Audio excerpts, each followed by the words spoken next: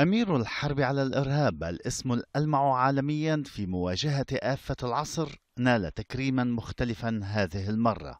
ولي العهد السعودي الأمير محمد بن نايف حاز ميدالية جورج تينت للاستخبارات لإسهاماته في وزارة الداخلية وتحقيق الأمن والسلم الدوليين وهي ميدالية تكريم خاص من وكالة الاستخبارات المركزية.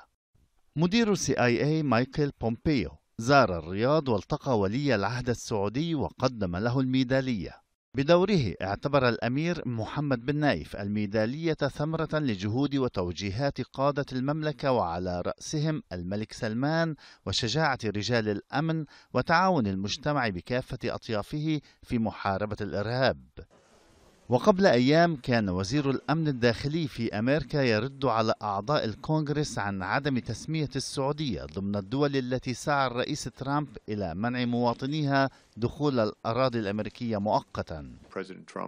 الرئيس ترامب اتخذ قرار منع دخول مواطنين من دول تشكل خطرا إرهابيا فقط. لذلك نحن لم ندرج السعودية على قائمة الحظر باعتبار أن لديهم استخبارات وأجهزة أمنية جيدة جدا.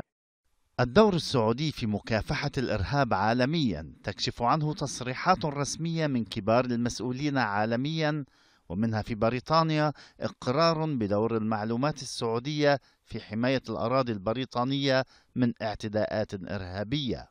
Uh, يمكن أن أقول لكم منذ أن أصبحت رئيسا للوزراء فإن معلومات استخباراتية زودتنا بها السعودية من المحتمل أنها أنقذت حياة المئات من البريطانيين هنا في بريطانيا.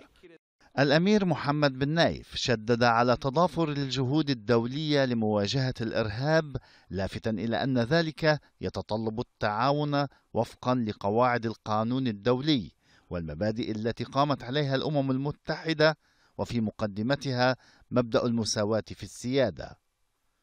عمر حرقوس العربية.